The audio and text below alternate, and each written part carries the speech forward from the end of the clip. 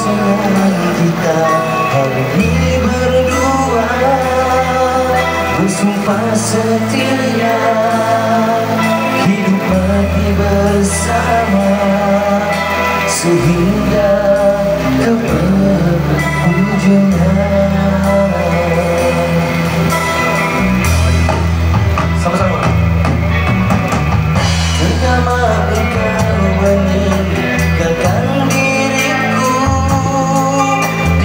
night I